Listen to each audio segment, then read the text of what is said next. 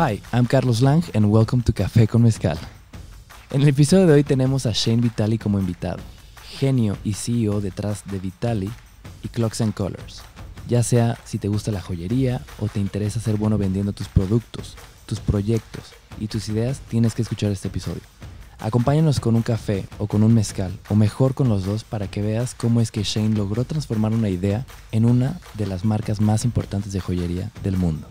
Muy bonito día.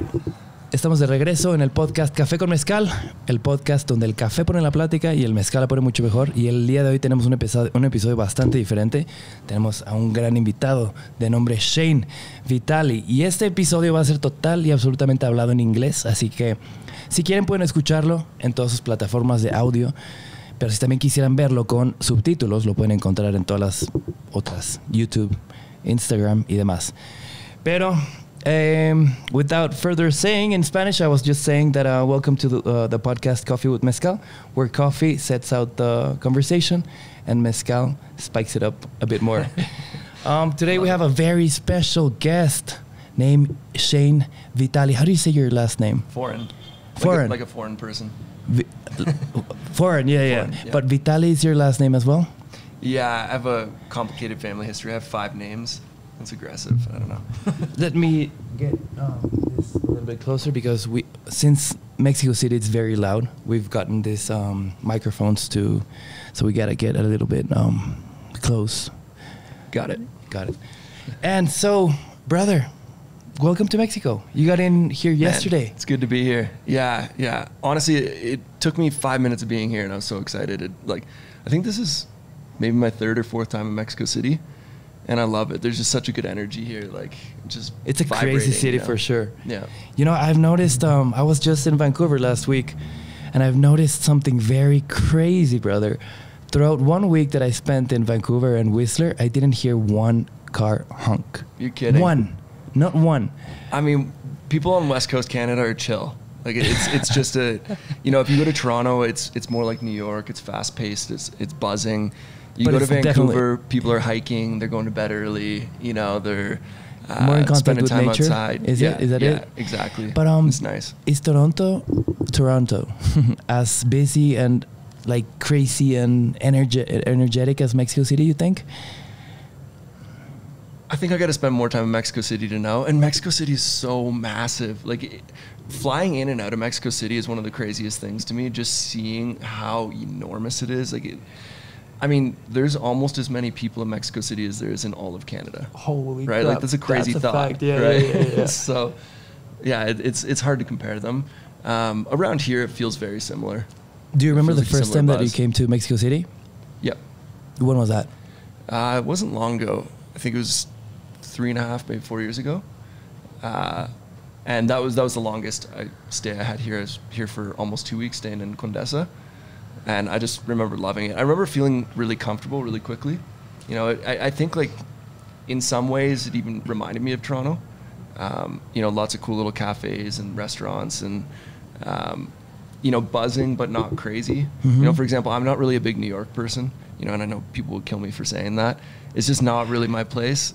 Uh, it's just a little too much, a little too hectic. Um, Wow, and you like Mexico City? I don't find Mexico City that crazy. Really? What- what- but maybe what I do you haven't been think in is the the right, difference? the Yeah, right yeah. Well- places, you know? Um, I guess that we live here and we get to see it every day. Yeah. Um, I don't think New York is that is as crazy as it is here. I was listening to Joe Rogan podcast maybe a couple of years ago. He was saying that in many places in Mexico City, he didn't even see like street signs. I was like, what? Like, what part of Mexico City did you see? You know, so you start to create like a whole. Imagine how many people listen to that. So that a lot of people heard about that, and then a lot of people think Mexico City is crazy and crazier and crazier, and I guess it just echoes, you know.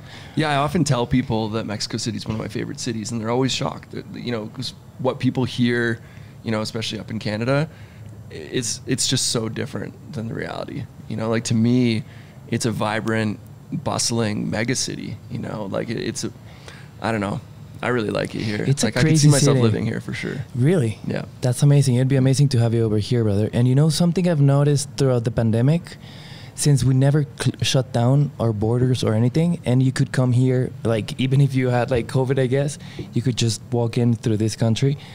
I've noticed so many, so many people from all over the world are coming over, like Yep. models, photographer, artists, like walk down the street and like it's a lot of foreign people. So I guess this th- what you're saying, and like this energetic thing, which it's it's it's such a part of us, you know. For It's- sure. it's bringing people over. I know a lot of people that have landed here and just aren't leaving, and I get it. You know, they they want that freedom.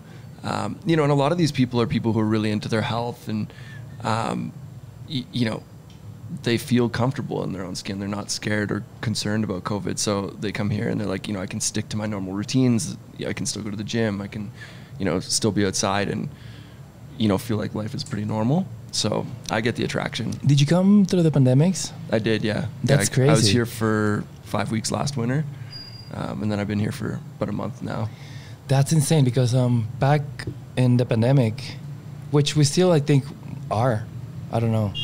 Um, so many people got locked down in their homes, scared as heck, and then people like you, wild travelers, just like decided, yeah, I'm, I'm healthy with my my own body. I, I eat well. I, I work out. I'm gonna go through a crazy country and just keep it keep exploring.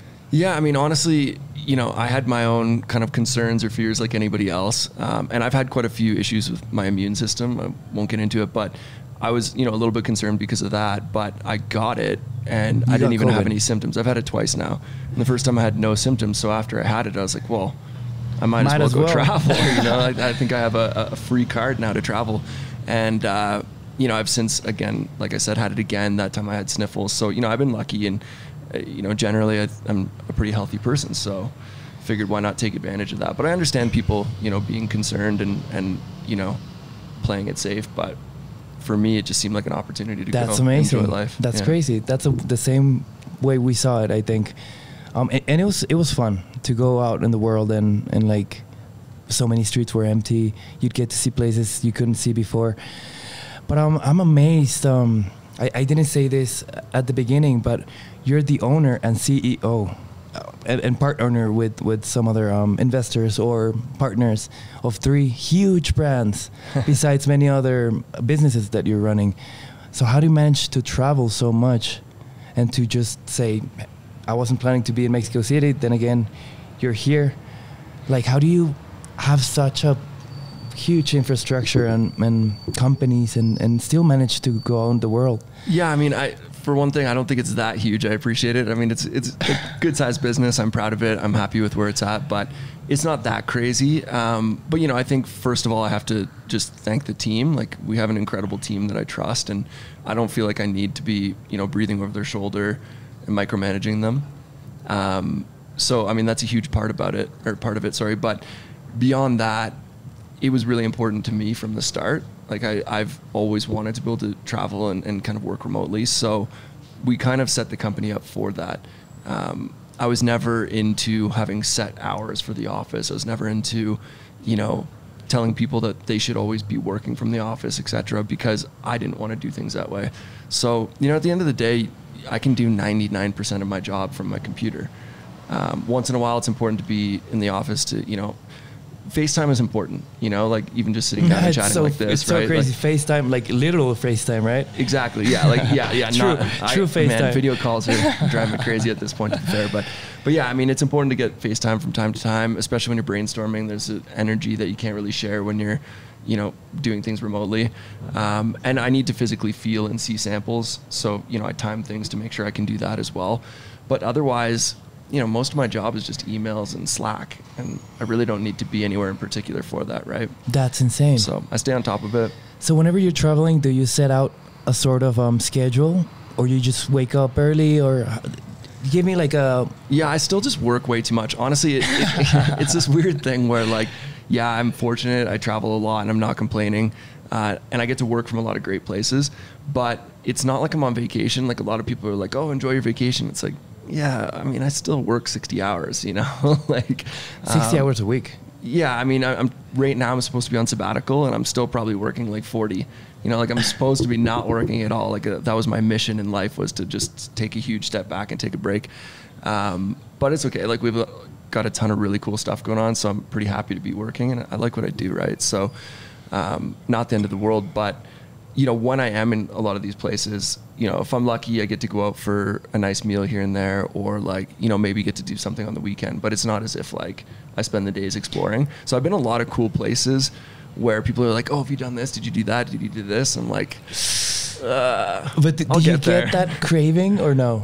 sometimes for it sure. It sucks because a lot of people tell you like you should be doing this. Oh, Yeah. I, you you didn't see that? Come Yeah. on, and you're like, yes, but I'm also working. You know? Exactly. How do so, you how do you control that? I mean, at the end of the day, I think I just got to take stock in how many things I have been able to do, right? Like, okay, yeah, I didn't see everything in that one place, but I've been to, you know, countless places and I've got a good taste of those places.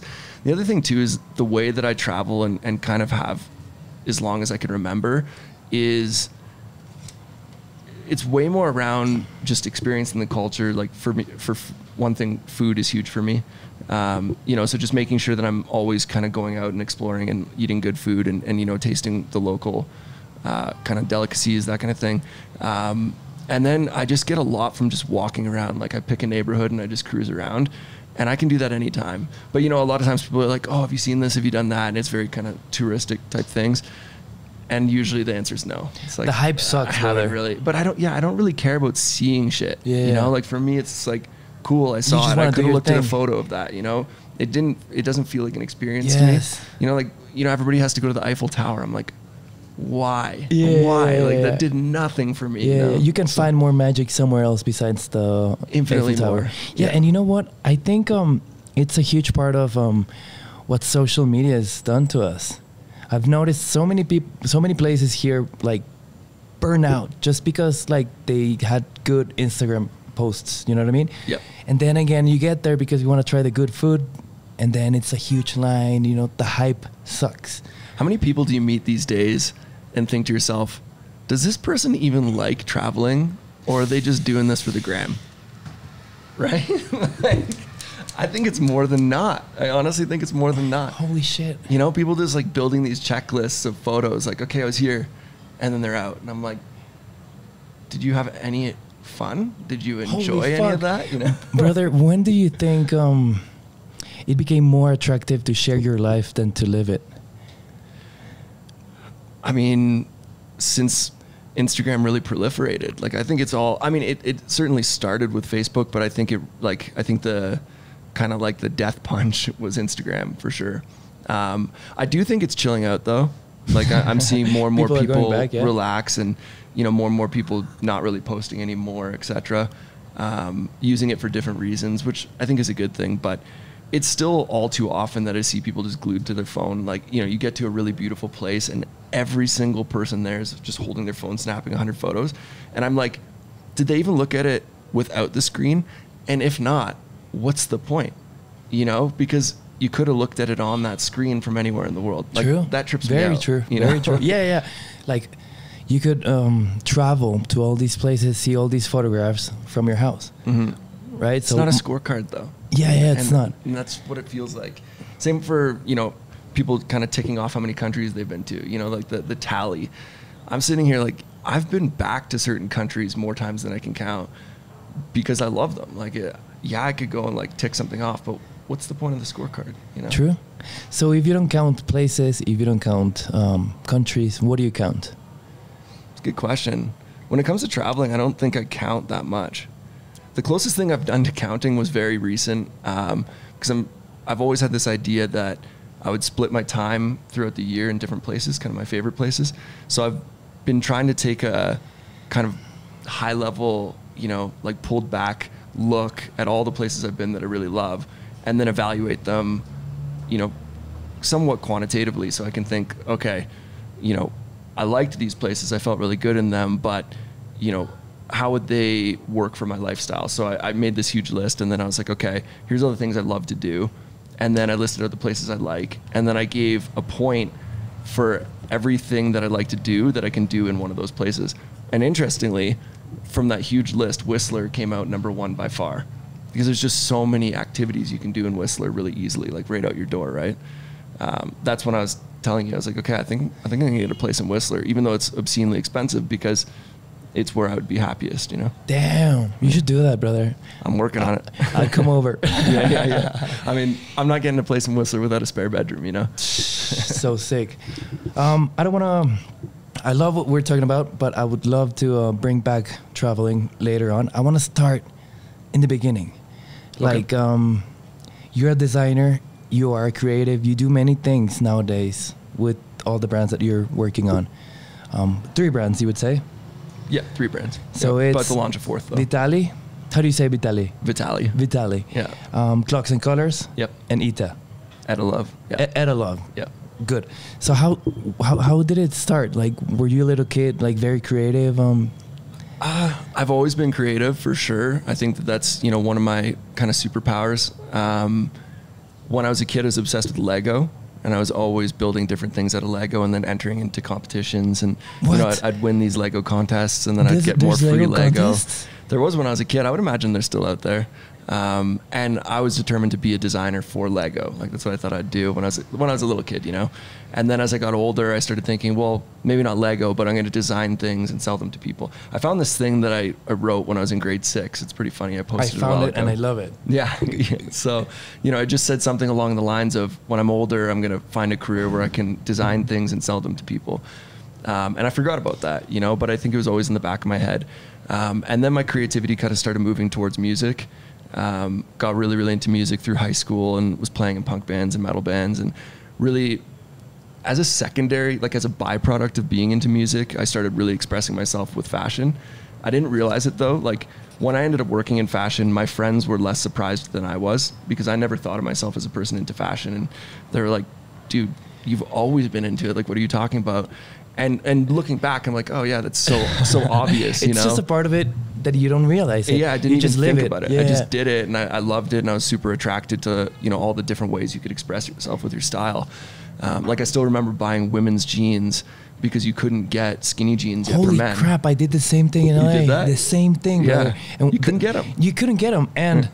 It sucked because um, women's jeans they have very small pockets, so we couldn't even fit anything on them. I have a funny story. So this one time I went to buy women's jeans, and obviously it's embarrassing and awkward, and you're not going to try them on, right? So I go, I go to buy them, and I just grab them quickly. I don't look at the whole thing, and I get them home, and the back pocket on one of the jeans is a rainbow, and I was Oh like, fuck! okay, like I, I can't, you know, like I'm like 15 at this time. I'm like, I don't, I don't have the balls to, to rock that, you know? so, so I cut the pocket off and I played in a local band that was like somewhat popular. And it was funny because over the next like few months, I started seeing more and more people just cut the back pocket off like it was some sort of fashion statement. And I just did it out seemingly out of necessity. Like The I felt like I had to. Yeah. You cut out the I whole pocket? Cut out the pocket. And you would so you leave, could like, just the see like the line. Yeah. Um, and then kids around me started doing it, and I remember my mom brought this up later on, and she was like, "Look, you've always been into like setting style trends and stuff." And I was like, "Well, that was not my intention, you know." You're so humble, brother. I love it. no, it, it was not my intention. Of course, it was of just course. like It- it, never is, I guess. And whenever it is, it just goes sideways. Maybe. Mm-hmm. Yeah, yeah, you can't force a lot of these things, right? Like people, people definitely pick up on that too. Like when you're trying too hard, Mm-hmm. um, you know, and you see it all the time. Like where people are like really, really trying to be cool, and it's like, hey, man, like dial it back. you know? Dial it back. Like, so you're in high school. yep, Um, you're with music. You're playing like rock. yep. Or what kind of music Like were you really playing? heavy, really heavy metal stuff. Like Like which bands did you listen Uh, to? what I was inspired by wasn't necessarily what I was capable of playing, but like bands that I was really into at the time were like Every Time I Die, uh, Cancer Bats, stuff like that had Very- a really heavy southern Yeah. metal sound to it. Maybe like Pantera for kind of like a bigger name, but a little bit more modern version of Pantera. So yeah, I was really into that kind of stuff, like really, really loud, and I would play very heavy guitar and I'd just scream. Whenever Um, you were in high school, were you um still had in mind like Lego designing, or was that back in? No, that stuff kind of disappeared because what happened, I, I got to high school and I'm colorblind. So when I got to high completely school, colorblind. I'm red green, but it's pretty bad. Holy shit! Um, so you'll very rarely see me wear color, and if I do, it's everything else is black or white because I don't know how to mix them. Um, but because of that, when I was in high school, they told me not to take art classes, which is ridiculous. Looking back, that's such a silly thing, but I was told not to take art. So I, it was like I didn't ever really pursue the, like visual creative stuff. So it was just music. Um, and then I ended up falling into doing kind of more visual stuff again after university. Because what happened? So after university, I went backpacking. I was in Bali, um, and I saw people making jewelry, and I'd seen women wear two finger rings. Um, and I was like, you know, I Two wonder, finger rings? yeah, What like like a, a ring that like goes across two fingers, Okay, kind of thing.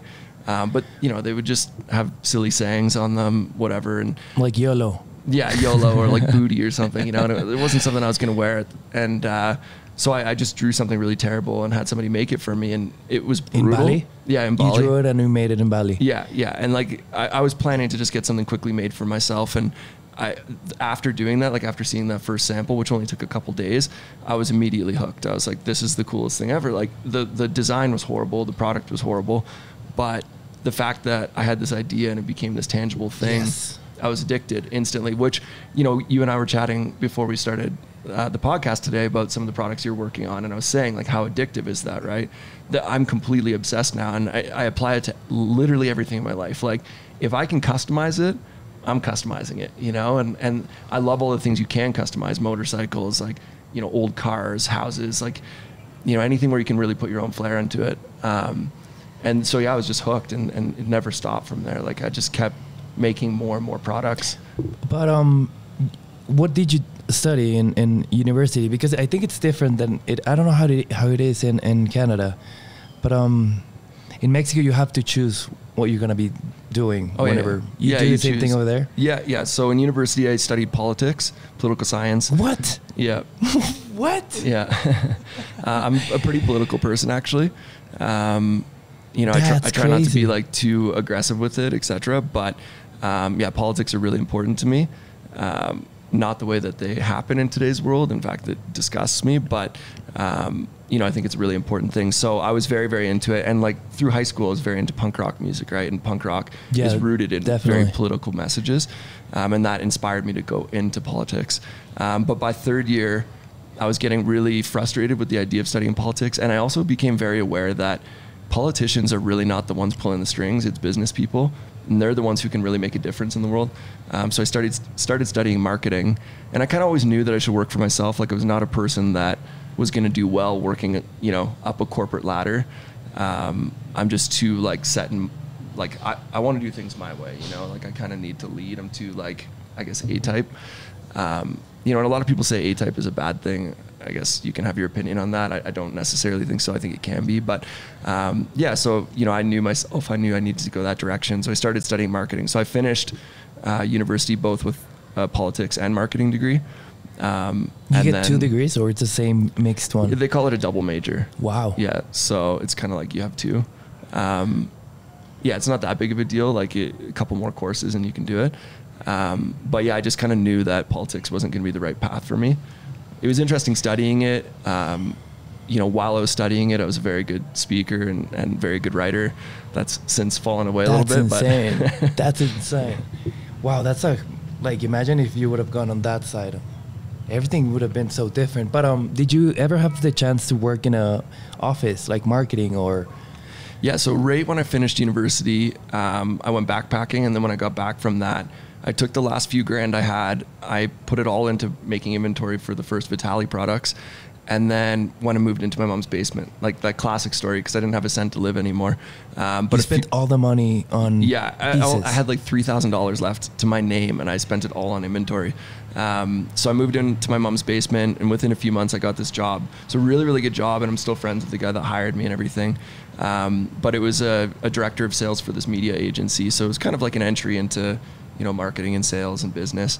Um, and I learned quite a bit there. But I did that for about a year while also working on my business. So I'd work there like you know eight to ten hours a day. Then I'd go home and work like eight hours, and then go to bed.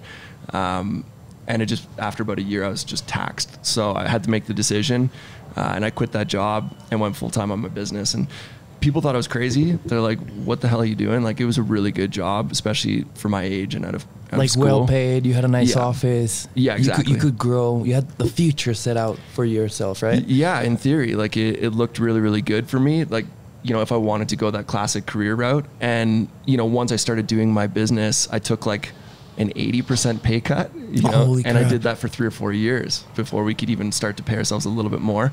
Um, it's funny because I had several good friends and they they had the best intentions. Like literally sit me down and be like, "Hey, man, You shouldn't do you know, that. maybe it's time to move on." You know, like actually just being like, I don't. So there's there's actually a running joke with some of my friends now. They'll, they'll like we'll all be out or something. They're like, "Hey, Shane, you still doing that ring thing?" Like, and they're all wearing the rings. yeah, yeah, I mean, exactly. That's so cool, brother. But um, I want to go back a little bit more. So when did you choose the name? How did um? So you made this this this piece in in Bali. Yep. And you already knew it was gonna be called Vitaly. No, I had no idea. So, it, I feel really fortunate because the way that my business started was so natural and organic. Like, I really was not trying to start a business. You know, you talk to a lot of people and they're like, oh, you know, I did this big business plan and I'm going to go out and raise capital and blah, blah, blah. They've got this vision. I didn't have that at first. I literally was just trying to make cool stuff. Um, and I thought, okay, maybe I can make enough of these to pay for another backpacking trip. So like my initial goal was like maybe I could make eight thousand dollars because that's what I spent to my first backpacking trip, um, and then I just kind of kept moving the goalpost when I saw that it was starting to work and when I realized I was really enjoying doing it. Um, but the name was kind of out of necessity. So what happened was I was in this store on Queen Street, which is kind of like, you know, I don't know, maybe comparable to yeah in Toronto is maybe like comparable to Condesa or something. Um, you know, a little bit more of like kind of like a hip area. And uh, I go into this store and I know that the owner is in there. And I had some of the samples of the original rings, and I just asked the owner, like, is this something that you'd ever want in your store? Not expecting anything. Like, I wasn't. It was more like you could call Like it market research, research. You- almost? You, Yeah, could call yeah. it that, but it, it was more just like curiosity. I happened to be in there, happened to know she was the owner. It wasn't like I was trying to do anything. I had no idea how wholesale worked or anything around that business. And she was like, "Yeah, I'll buy whatever you have." And she bought all the samples that I had. Um, You and just she, showed up to ask her, just Yeah. out of curiosity, and she took all of them. she took all of them. I had, I had like twelve or thirteen. It wasn't crazy, What? you know, but to me it was crazy. Of course it was. And that's when I was like, okay, I think I'm on to something, you know. but like, was that the two? the two finger rings. two finger Rings. So initially, I did all two and three finger rings, and I thought that that's why people were buying it. You know, I just thought, oh, you know, it's this kind of niche thing. It'll be cool for a little bit, and then it'll go out of style, and that's fine. You know, like I'll be able, I'll be able to pay for a backpacking trip or something. But when she bought those from me, she was like, so what's it called? Like, what are your prices? And I was like, I haven't thought about any of this stuff. Um, and that night, I was like looking at my arm, and I have Vitaly tattooed on me. Um, and I was like, well, it's kind of a cool name. Like, why don't I just call it Vitaly? And it's easy. Like, I knew from business class and stuff that using your own name, you don't have to think about like trademark rules and stuff. You're allowed to use it when it's your own name. So I was like, okay, well, let's just do this. and it Easy. all worked out so well. Worked out. Yeah. And it's crazy because um, I I don't want to go too ahead with clocks and colors, but Vitaly, it's so different. It's so, it's more of a fashion brand, isn't it? Yeah, It- it's interesting because we've been having a conversation internally, and I don't even know if they'd like that I'm chatting about this, so I won't go too into detail. But it's evolved so, so, so much from when I started it. Um, you know, and transparently, I started Vitaly, and then about three years later, I started Clocks and Colors. And Clocks and Colors was started because my roots have always been rock and roll and tattoo Biker. culture and yeah and, and I always wanted to get into motorcycles which I since have for many years. Um, and I wanted a brand that really reflected that part of my DNA and my culture. Um, and so you know I, I started kind of growing them in tandem but clocks was always the one that was m- most authentic to my identity. But we hired our very first hire is still with us and he's the creative director for the company but his focus is Vitaly, and that brand is very much his vision. Um, so I credit him with his name is Zach Vitiello. He's a genius and, and incredible photographer and, and creative, just all things creative. He's a master of, um, and he took that brand to where it is today, um, which I would argue is very much an actual fashion brand now. It's just an affordable one. Um, you know, I think they're struggling to define where it exists in the world because its price points are so fair but it's presented in my opinion as like a straight up capital like capital F fashion brand you know which is cool. That's not really my world so it's hard for me to contribute more than just towards the product. So I have a lot of insight on the physical product because it's just that's my thing. Um, but outside of that my focus is more the clocks and colors brand and the Edelove brand because those are more in my universe. But are you still designing for Vitaly or not so much? so my role is kind of across all the brands now when it comes to product is we call it like executive creative director, but really I oversee all the product. Um, but we have a head designer now for the Vitaly brand, and we have a kind of a team of designers for Clocks and Colors and Etta Love. Um, when it comes to clocks, I will basically come up with a theme or a concept, and then I'll be like, "Here's a bunch of things that I want to see happen, etc." They start bringing me a bunch of designs, and then I kind of ruthlessly like pick them apart and carve them down. Um, when it comes to Vitaly, at this point, they pretty much will present me with almost a finished collection, and they'll be like, "What do you think?" and and I kind of like put the final touches on it. Um, I can be a little bit, you know, harsh when it comes to product, and I think it's just kind of that necessary final touch. But in general, I'm pretty stepped back from that brand now. Like they're just doing an amazing job with it, so I just support where I can. Um, That's something. This is so mystical, brother. Like, welcome to Mexico, Yeah, brother. feels like a very authentic we should experience. actually step it up and try co- coffee with mezcal. Are you down? Down. I've never had coffee with mezcal, so I'm kind of fired up for We this. We didn't have that in Oaxaca. No, I don't we did think so. not. No, because I no, wasn't no, really no. drinking. Remember? Yeah, yeah, yeah, Yeah. You're right. Sí, sí, jaló el cafecito viejo.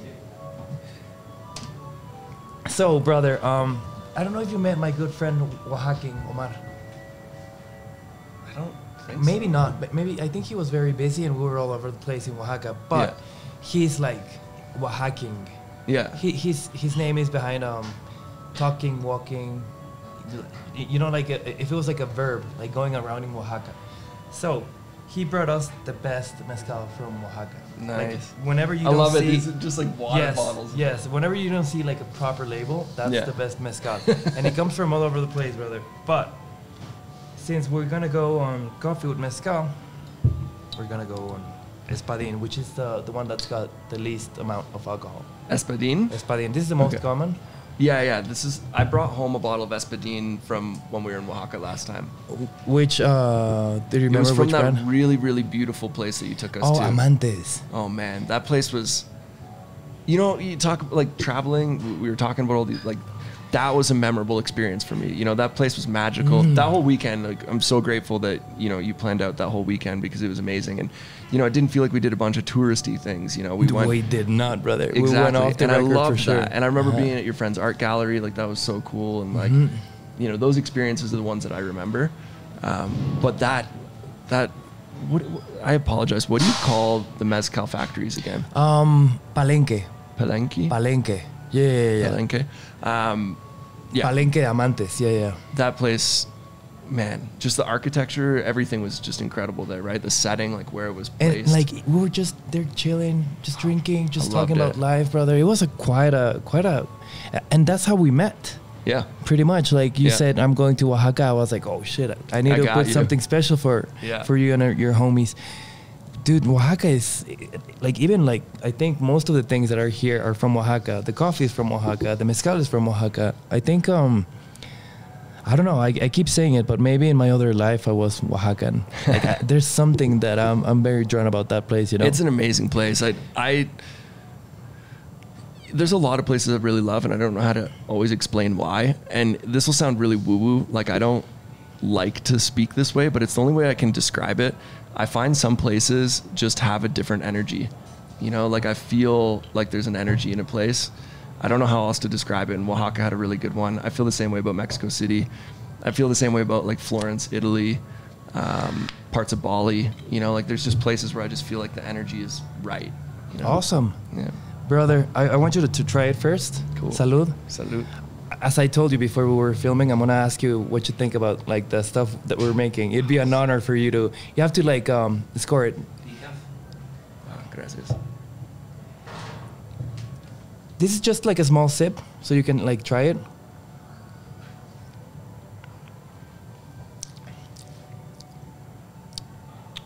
Smooth.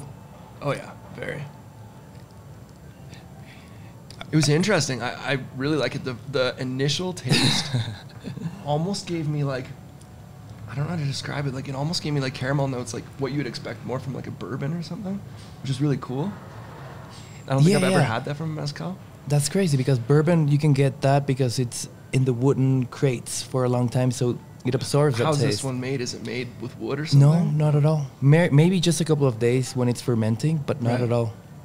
Like I taste some of that though. It tastes maybe it's, very maybe natural. It's because I had it right after the coffee. True, very true. I don't know. It could be that. So we actually designed this with the maestro Oh, cool. from Pitao Copicha. And the whole idea, it's like how, okay, I want to be like pitching you the idea. It's how like whenever you drink mezcal, it can go from here, from here to here. like a mystical thing, you know, like you can also like put them down. Like if you're drinking two, like you can like, okay, this is, this is the mild one and this is the strong one. I feel like you can go from here to here when I'm drinking bourbon. Not with mezcal. You drink, you drink too much bourbon and like you can turn into a monster. Mezcal, I'm, I usually It's it's it's a. I was talking about uh, that with the musician. He was telling me there's no evil involved in mezcal. It's a very solid. You know who made it. You know there's no conserv um conser how, how, con- conservatives. Does that make sense? Like don't know. fake stuff that will make the Oh, the product preservatives. preservatives. Yeah, Yeah, yeah. Make, make it last longer. Yeah, conservatives are other thing. Yeah, yeah. yeah. okay, so you have your coffee there got it. decaf so we don't get too crazy and this is supposed to be just like a spike is that You're, you're not hot in this jacket. It's so nice. i am but it, i am It looks but, but i'm Yeah. saving uh for a surprise for you Oh yeah. All right. and what should i get Picking yours. i don't even want to see what time it is Yeah. Who cares? Ca- ¿Tenés otro cafecito por ahí, viejo? ¿Que me eches? No, I'm gonna go coffee with mezcal with you. What episode is this, by the way? How many have you Number? done now? Yeah. This week, No, no, no. Total. Total. I would say somewhere around 25, 30. Nice. we would ra- we would much rather um make every conversation last forever instead of making oh with this with that with that you know Yeah. like i want you to see this episode in like five ten years and still be like yeah that's a solid picture of who i was that Yeah. time you know so i want to tell you something that i've noticed very cool um, i've met up with a lot of musicians which i admired their, their music and whenever i met them i was like if I used to be a fan of their work, now I am way more. Right. Because I, I, I get to meet the, the person you know who's involved on, on the whole philosophy that's behind the, the, the brand. And that same thing happened with me. Like I used to be a fan uh, of Clocks and Colors, but when I met you I was like, this guy is Clocks and Colors. and I like Thank the you. brand way more and I think it's gotten in my head that um it's such a successful and beautiful and well forged brand because it is who you are. You're a biker, you're a badass, and you you made all that into a brand, right? I appreciate it. I don't really think I'm a badass, but Gracias, bro. Muchas gracias.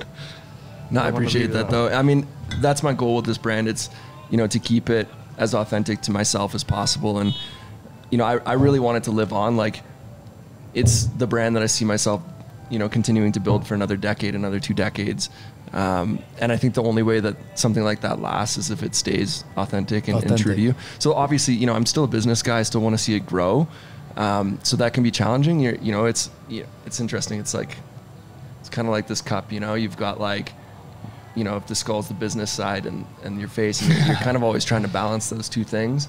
Um, and that can be tricky. Like, I never ever want this brand to feel like it's sold out. Um, and, you know, so that's kind of always this like internal battle. But I think as long as I go back to it and think, do I genuinely like this? Like, would I wear this? Is this something I'm excited about? Or I think it, I think it's good. Yeah. And if it's not, you drop it. yeah. Oh, this is hold on. This is too much.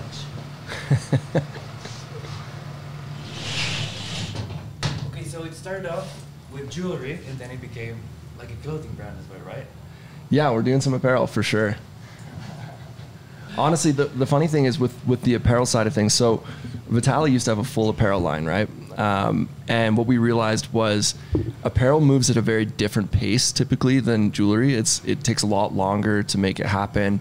It especially with Vitaly apparel, that that brand is is very fashion forward, right? So the have to style had to change really creating all the fast. Exactly, it's always Wow. changing.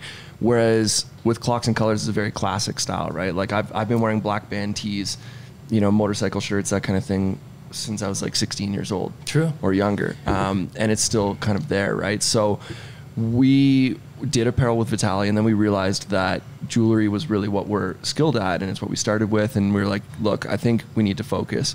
Um, so we pulled out of apparel and put everything we had into jewelry, and it was absolutely the best decision. Like it's improved massively.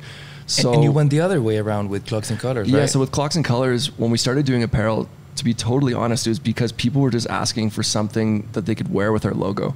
So you know, people that just wanted to rock the brand, or like you know, bands that are into it, etc. So we were just like, you know, why don't we just print on some blanks and and see what happens. Um, and we figured, you know, if we're printing on blanks for these people, why not just put them up on the website? And it started to sell really well. Like it's it's still you know nowhere near what the jewelry is, and it's never going to get transparently it's never going to get the attention that the jewelry does or the sunglasses because sunglasses are becoming a huge thing there's something i'm really really excited about and proud of um, but you know it's it's really starting to move but because of that you know i have this philosophy of always trying to improve things like I, I always want our products to get better and better and better you know and some people say that like you know sales pitch kind of thing but i really believe that so you're going to see a really huge change to our apparel soon. Um, so it's still going to be classic. It's still going to be blanks, etc. Um, but I'm having a fabric designed for us right now um, that will make all the garments technical. So what I mean by that is all of the garments will actually function in a way that you could wear it to the gym or to a concert or whatever, and it's still going to have that same quality. You know, so it'll be like antimicrobial, it'll be anti-wrinkle, um, wow, sweat so very wicking. good quality stuff. exact very like extremely high quality stuff but it'll still look like this. You'll still have that very classic look. But for me i was like look if i'm going to keep producing apparel i want it to align with our ethos you know which is to really create the best products. Um, so i'm pretty fired up about that. So we've, we've got we've got that coming. It's going to take some time. Um, but it's gonna be really cool. That's insane. Tell me what you thought about the c- coffee with yeah, I'm obsessed. Like, Did you like yeah, it? Yeah, I've taken a few sips already. I've never tried this, and it's amazing. You're lying to so me. a- I swear, a lot of people do it with bourbon back home, right? Like you, Bourbon and coffee, yeah, yeah. yeah, that's really common, and I've What's had that called? a million times. I'm gonna. I, I don't think this is right. It maybe a hot toddy. I should know what it's called. I'm completely blanking on it. No, hot toddy's with like cider or something. Anyway, I don't know. Uh, but this is better, way better actually. So and it tastes like they, they were meant to be together, right? I honestly, when you first mentioned it, I was like, okay, man, like I'll, I'll try, I'll try anything once, you know. Like I was like, I don't really see it. Then I took the sip and I was like, Holy- all right, all right, all right. Brother, hopefully I'll go, we'll go back to the video and see your face because I, I didn't get to see it. I love seeing it because everyone trips out about it. It's like two things that you would never, I would have never mixed them. yeah, yeah. it's really good. And then you drink it and it's very Yeah. interesting. yeah. Speaking of mezcal, I need to come home with a couple good bottles. Oh, I'll help you out with yeah, I that. gotta make sure, sure. I do that. For sure. Yeah. So, um, back to clocks and colors. I'm amazed by all, all the crazy different things that you have put together. Like you have flasks, you have boxing gloves, you have um, dice.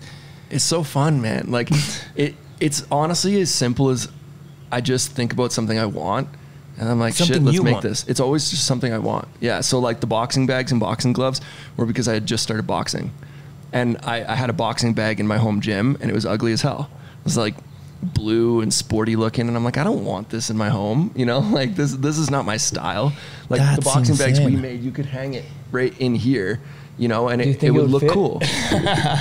Absolutely would, you know, but it would work, right? With all Uh-huh, your like warm leathers and that kind of thing. And, and so that's what I wanted. I was like, I want something that fits me aesthetically. Um, and that's where all these things come from. That's how we started doing sunglasses too. Like I've, I've always loved eyewear. Like I just think it's a really, really cool tool for expression. And, and from the perspective of a designer, there's so much you can do. Like there's just so much room to be creative with sunglasses. And I feel like it's one of the least creative spaces. And I mean, of course, there's exceptions to that. I'm not trying to like call out every brand ever or something. Like, uh, like Retro Super Future do a really cool course. job. Mykita. Monster or is it Monster? I for sure just butchered that. I can't. I'm blanking on who I'm talking about right now. Uh, regardless, there's some really great brands out there for sure, um, but it just felt like there was not as much exploration as there could be. So we've been diving into it like head first. I'm stoked. I'll show you some renderings later of what's coming, but it's it's fun, man. Like it's really cool. like That's what so crazy, do. brother, because you were doing so well with silver. And then you just decided, okay, so I, I would love to have this. I'm to make it for the brand. And it also succeeded. Yeah, I think we've just kind of pivoted a little bit from jewelry, and we've kind of positioned ourselves more as accessories, like the stuff that completes your outfit. You know, yeah, okay, we've got some T-shirts and some hoodies and stuff, but like we're not going to be an apparel brand. I say that, but we are working on some leather jackets, um, and they're, they're they're pretty rad. Um, but again, it's not like we're not trying to build out a leather jacket portion, etc. We're planning to open retail stores. Uh, we should have one in New York and one in LA before the end of this year. Um, hopefully, one in Austin as well. And we just want to be able to, you know, somewhat fill those out and properly merchandise them. But what we really specialize in is that like last step in getting dressed, you know. So like you know, now we're doing our hats, we're doing, you know, jewelry, of course, uh, sunglasses, those kinds of just like little additions. And now like EDC stuff, like I'm, I think that stuff's really fun, you know, like little pocket knives and dice and, you know, cool stuff like that. My friend Peter McKinnon got me really into that stuff. I wasn't really even familiar with that world before. Like and now I get mean? it. Yeah, just just all those like little things that you can collect, you know. I'm not gonna sit here and pretend like I'm part of the EDC community. Like those people are very passionate. They know their shit. What does EDC stand for? Everyday carry. Everyday carry. Okay. Yeah. So it's just you know they ha- have all kinds of different things that live in that world. I think you know knives are probably the most common for that, but you know people carry coins or dice or different things. It's Um, like pirates, brother. yeah, it's cool though. I love it. Like it- it's just it's such a powerful community, um, and I'm really attracted to those things. I mean, I, I've always loved those like small, niche kind of subcultures. Like when I think about the music I've been into, it was always that. You know, it was always like you know, a little bit underground. Even when I was into like a, a you know four or five year phase where I was really into electronic music, but like I was always so against electronic music when I was younger, younger because in my mind I'm like, well, they don't use instruments. Like this is ridiculous. But then I discovered the really like underground techno world. Um, you know, the stuff that's kind of sketchy and seedy, and you know, it, it's it's not in big clubs kind of thing. You know, you have to kind of yes, go to the like dodgy ones. And I loved that, and it was a similar community. You know, it's like this kind of like almost outcast community. Yes, and I've always that's loved against all the hype that we're talking about. Yeah, exactly. Like we just want to stay true to ourselves, to our art, to our craft, right? exactly. That's Yeah. amazing. So I would say that. Would you say that um it, it is? So clocks and colors, it's an extension of yourself. big time big time yeah i mean that's i don't know how it could be described as anything else because you know the products are literally just things i want. That's all it is right? So you know it stays authentic that way and it stays an extension of me. And you know we've we've had a lot of people come along and offer to buy it or try to buy it etc and you know obviously like when you see those numbers come across your desk it's like shit like you know that could really change my life. Like that that's pretty crazy. Um, but then you start thinking and you're like yeah but this is who i am. And and now these really crazy opportunities are being presented because of it. And i'm like these kinds of opportunities these kinds of doors that are opened they're worth so much more than money you know? Like i've never cared about being like rich or not saying that I could buy a yacht with anything that I've built or anything, but you know, like I've never thought, oh, I want yachts and blah, blah, blah. Um, I, I wanted to be able to have cool conversations like this and hang out with cool people and, you know, um, hang out with the musicians that I've admired since I was a kid. And, you know, now I've done collaborations with so many artists that, you know, when I was a kid, I would have lost my mind to even build to like shake hands with, you know? Um, and one we can't really talk too much about that you know uh, that we should be inking the deal on any day now. I don't know when we'll be able to announce it, but this is the this one is by far the craziest. It's absurd It's to me. It's insane. It's truly insane. insane. Like I I can't believe it's happening. Like I mean, it, the contract's not signed, so you know you never know. But it looks really really good right now, and, and I have a meeting with this person at the end of the month, you know, to go sit down and work with them for a whole day on on designs and like.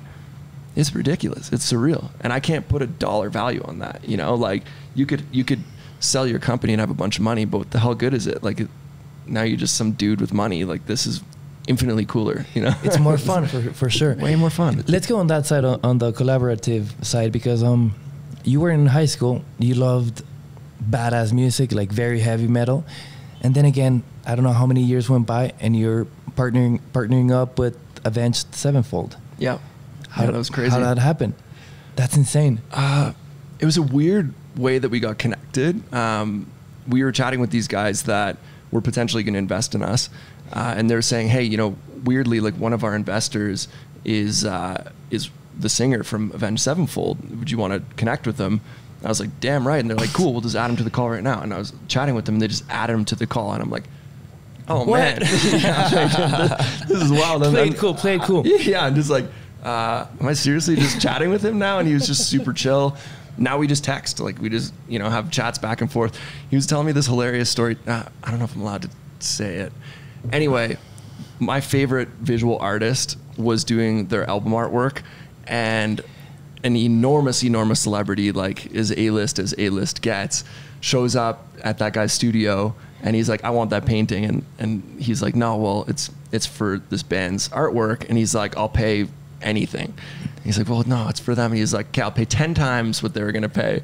And so my, my buddy from Avenged shows up and he's just like, hey, you know, we're here for our artwork. And, and the artist is like, yeah, I sold it." sorry, I sold it. Yeah. Shit. anyway, he, he made new artwork for them, obviously, but but it's cool to be able to have those kinds of conversations with True. somebody. You know, like I would have never imagined that. Um, so yeah, that, that was pretty wild. But they were fired up to do it. They they were familiar with our brand already, and uh, you know they, they do a lot of merch, and and you know just thought it'd be a cool activation, and it was wicked. Was that the first uh, huge collaboration that you were like blown away by it? Honestly one of the biggest collabs for me personally was not the biggest in terms of like reach or scale and, and that's kind of how it's often gone. Like we've collaborated with some huge artists before but like it's not really my world so i don't get as fired up about it as other people on my team.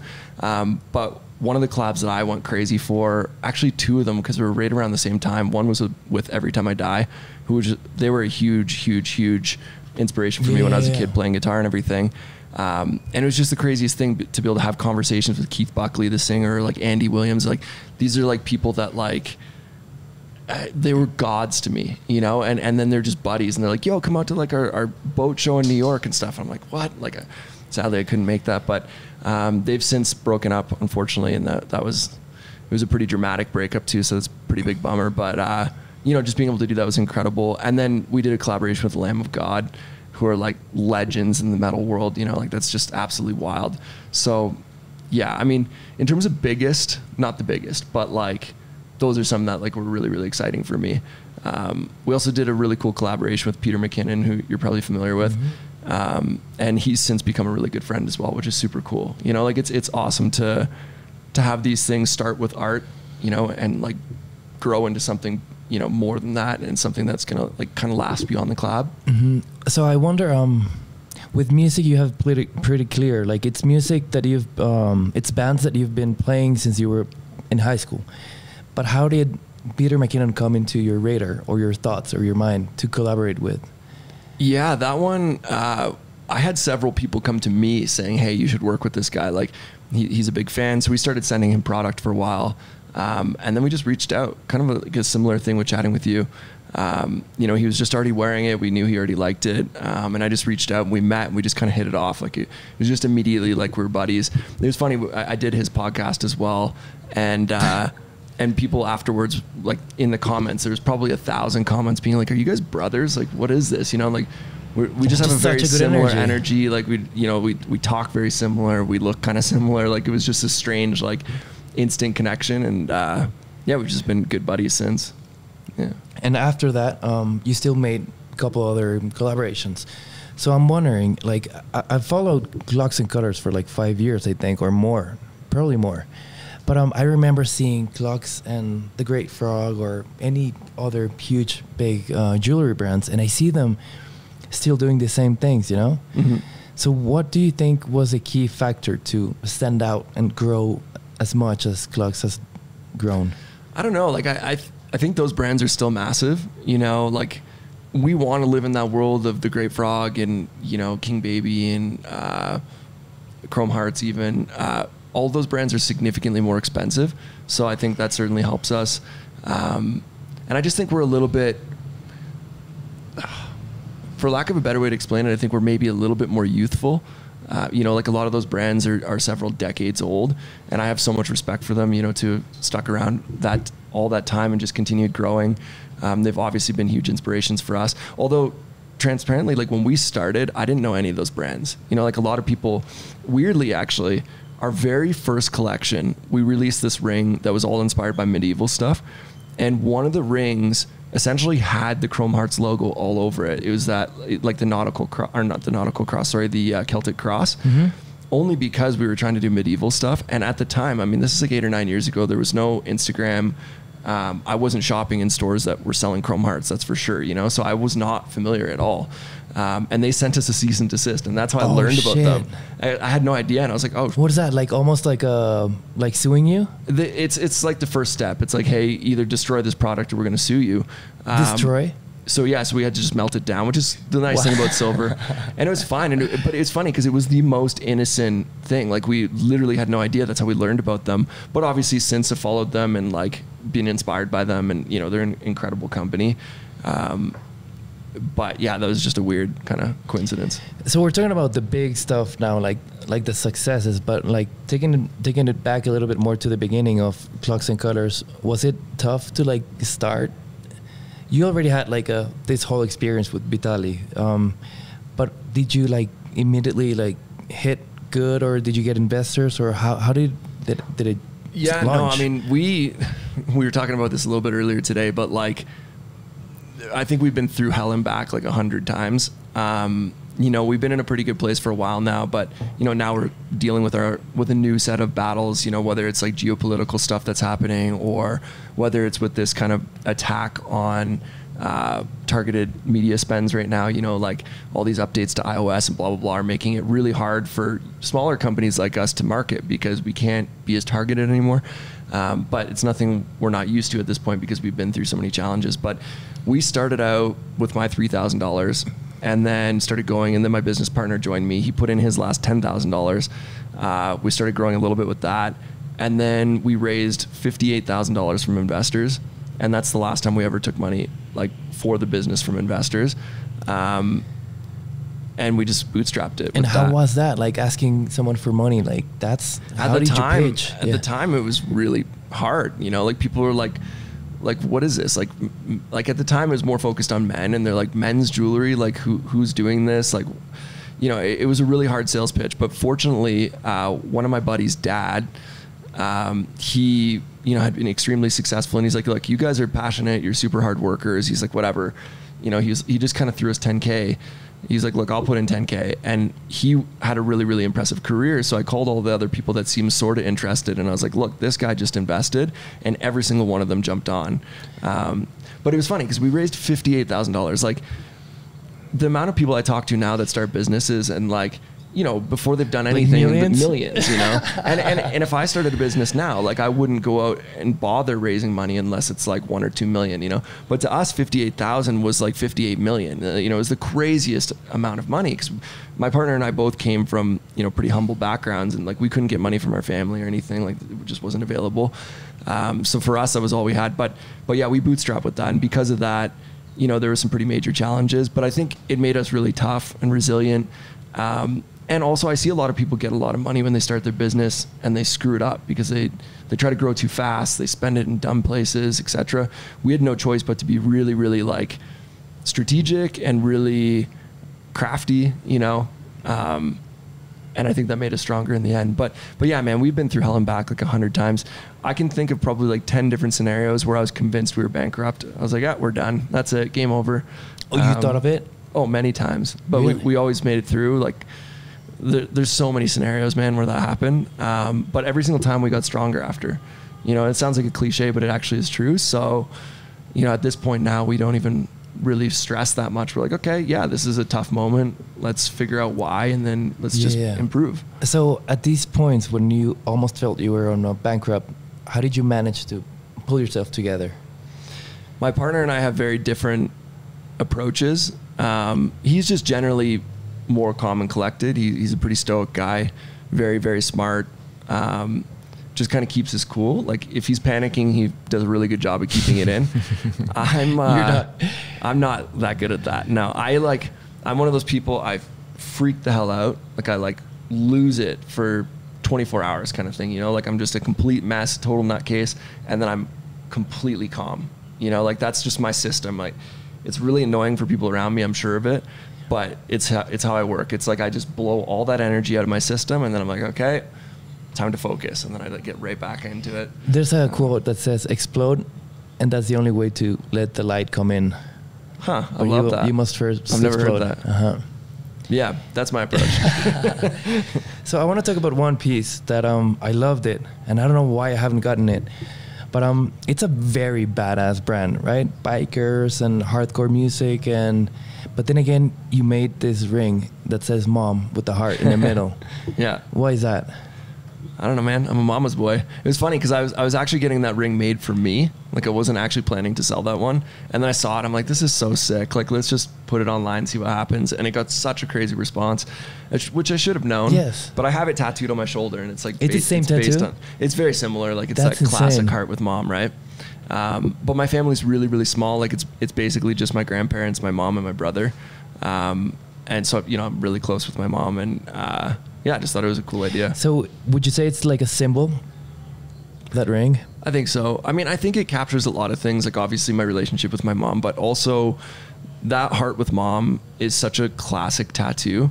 You know, like you look at like what I like about it and what I've always liked about it is that you can look at the biggest, scariest biker dudes, and half of them have that tattooed. You know, um, There's this relationship with mom, this right? kind of yeah, it's this kind of like it's like this weird thing where it's like you're allowed to be soft when it comes to your mom you know which i like about it you know it's like it, you can be really hard and badass all you want um, But but, no one's mom. gonna be, no one's giving you a hard time for being soft when it comes to your mom you know I.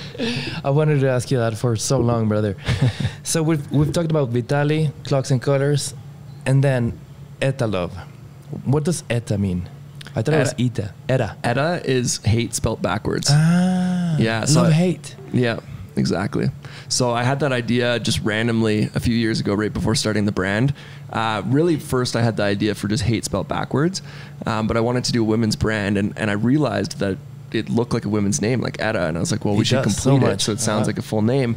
And then I was like thinking about tattoo culture and like the love hate tattoos, and I was just like, oh, this just makes so much sense. And I was shocked that it had never been used or taken. Like we were able to get all the handles and the URLs and stuff. So that's kind of where that one started. So Etah Love was a really natural kind of build out. Like what it was initially supposed to be was f- like a women's brand for all the women that were kind of following clocks and colors because we didn't want to add a women's line to clocks. Uh, we just Why thought it would be kind of confusing because it had been a men's line for so long. Um, so we were like, why don't we just build a separate brand? And, and we felt like if we did it through clocks, it might be a little bit limited. Um, so we're like, okay, well, we'll build it as like a sister brand, you know, and, and that way it can kind of take on its own life, which I'm really glad in hindsight we did that because it really has like it's, it's become very much its own thing. Um, and I have, you know, somebody on my team, her name's Jackie to thank for that because she, it was funny. I started the brand, you know, around an idea that I had for it. It was kind of like this, like, like I said, you know, extension of the Clocks brand. Um, but Jackie has always been this very like authentic person in the world that I wanted Etah to speak to. And so I kept going to her. I was like, hey, you know, what do you think about these product ideas? What do you think about like this tone, this logo, this whatever? She was in clocks, and you were asking her. She was working for the company. Mhm. Um, at the time, she was doing a lot of communication stuff. Uh, you know, like working with influencers, that I've, kind of thing. I've shared so many emails with her. I love her so She's much. amazing, man. right? She's amazing. She's an incredible person, um, and also one of the, you know, you, you have like certain things when you build a business that, you know, you'll never forget and that you're proud of, and and like her story is one of my favorite ones. Um, you know, she started working in the warehouse. Um, and she worked her way all the way up. She's now the executive creative director for Etah Love, which is like the role I play for Clocks and Colors. Um, and she runs Etah Love. Like that that brand is hers. Like it's her voice. It's it's it's entirely her, you know. And so That's amazing. it's really really cool to have seen her like grow that much. And and she has so much ownership of it and so much passion around it. And she works so damn hard. Um, it's really cool. Yeah. So three brands. Any other side businesses? well, we're, we're working on a fourth brand right now. So What? yeah, so we'll have a fourth brand launching, I think, in July. Very different from anything we've done. Um, this Any sneak peeks? uh, I can probably show you something afterwards, but it's not going to be like to your taste. It's a very, it's a completely, completely different thing. Um, but it's it is jewelry. It's more like kind of like fine jewelry stuff. Um, but targeting a completely different audience again, which is you know how we go. Like you know we, we love to build brands, and I was thinking you know I think it's time that we try this community. Um, so yeah, it'll be pretty cool. And then I've personally become really obsessed with the health and wellness space. Um, you know, just because of certain health issues I've had on on my end, I've you know, really, really been obsessed with just researching and learning how to improve immune system or like nervous system stuff, etc. Um, and that has led me to working towards another business, which should be launched uh, hopefully early next year. Um, but that'll be in like kind of like the med tech space, and it'll be, you know, a pretty huge thing. I'll, That's I'll, insane. I'll make sure you get one when we have them. But uh, it's really cool. Yeah. Do you think um you're looking a lot into the um, health space because you worked so much that you stopped taking care of yourself? Maybe. A lot of stress. Yeah, A lot of. I, I've I've reached like legitimate physical burnout multiple times. That's why I'm supposed to be doing a sabbatical right now. You know, Okay. to be totally honest, like I've I've gone through really extreme periods of being a workaholic, um, which is not something I advise. Like I think that there's a lot of people out there right now. I won't name names that you know are quite famous for pushing what I call like work porn. You know, like they Work porn? Yeah, it's I've like never heard of that. I, it's just what I call it. It's like, you know, the, this idea that like work more, like you should be like, you know, you can never work hard enough. Like everyone should be trying to be like a multi multi multi multi millionaire, and you know, I think it gets in people's heads, and and they feel guilty if they're not just twenty four seven trying to work and improve and blah blah blah. Um, and I've gone through that many many times, and I've it's resulted in literal burnout. You know, not just emotionally, but like full physical burnout. Um, and it's like impacted my nervous system, all kinds of things. So, uh, you know, I, it definitely is what led me to it. But I'm actually really grateful because I see myself getting more and more into that through the like into my kind of later years in life. Like I, I just find it really fascinating. I love learning about it, um, and there's just so much incredible stuff happening in that world right now. Like the the advances that are taking place, I'm fully and 100% convinced that within a decade they're going to be able to reverse aging what? like full blown reverse it. Yeah, and this is not like some you know quack conspiracy thing. This is like the best scientists in the world are convinced, and and many of them think it'll be far sooner than that even. It's some really really crazy stuff. Like there's this doctor I follow. His name is David Sinclair. Fascinating guy. Like he's the I think he's the head of the Harvard biology and aging department, something like that. Um, but this guy's just doing incredible work. He's got me like getting hooked up to IVs to do like NAD and stuff. oh, that's the thing that you sent me. Yeah. I was like, what is this? I, I have yeah, no idea. I'm like hooked on it now. Um, yeah, really, really fascinating stuff though. But like his his uh, lab has been able to do some of the craziest stuff. Like they've been able to reverse, literally reverse the age of mice. Uh, well, specifically their eyes. But that's pretty wild. W- Would you get into that? Oh man, big time. Really? I, like big time. That's why I'm so fascinated by this stuff. I want to be like I'm gonna be lined up. You know, like Benjamin Button me. Let's go. Yeah. Like if, if I can go back to 25 year old body, hell yeah, why not? You know, imagine having your body that you had at 25, but having the brain of a 40 year old. You know, like the intelligence that you've acquired, your wisdom, all that kind of stuff. That's sick. It is. but what do you think about going against nature itself? we're always going against nature. I've always found that a really funny thing. It's like everything humans do goes against nature. Like if you take any kind of medication, you're going against nature. What, what are antibiotics? Antibiotics are science that make you live longer, right? Like the the average person lives more than twice as long as they would have lived 200 years ago. Why? Because of all the things we do to go against nature. True. Right. We only got one shot. Might as well make That- the best of it. that's it. how? I see it. So, Mhm. you know, if I can extend my life and see more and more, like I'm fascinated by all the things that, you know, we see in this world. And I, I find like the whole narrative that like the world is going to shit gets really old. Like it, it's not. It's not. There's definitely bad things happening. There's always going to be bad things happening. But objectively, the world is the best it's ever been. You know, other than maybe like pollution, pollution need we need to get a handle on that for sure. Like the environment definitely needs to be taken seriously. But like, you know, look, I'm I'm no expert, but if you look at the data on most things, the world is improving. Like, you know, everything from quality of life to yeah, it's not perfect. We have a long way to go, but things like racism, etc., it's all improving. It needs to go a lot further, but you know, Definitely. um, definitely. And I want to see where it goes. and it's um it, it's been ramping up in such a short time right like if you go back to like my grandma like if like talking to her like yeah i went to japan and i stayed in this place she's like how the heck you know if you go back even further like it's been like 150 years since traveling was only imaginary almost Yeah, yeah, Or exactly. such an adventure you know like you had you'd have to go through i don't know ships and months and everything is so beautiful now. Like I love that question whenever someone asks me like, where would you live? Like what time of life would you live? Like everyone's all like 70s or 50s, and Yeah. I'm like, this is the best time in life. I think this is one of the best for sure. There is one thing I will say though. I do feel the phone, like just having a phone all the time, is ruining us. That's the one complaint I have. Like, other than, you know, let's not get into like the bigger, like geopolitical things and that kind of stuff, but like in general, like in terms of quality of life, I actually think our phones in so many ways are making it far worse. Like, I think it's impacting our ability to focus. I think it's impacting our ability to have like real conversations with people.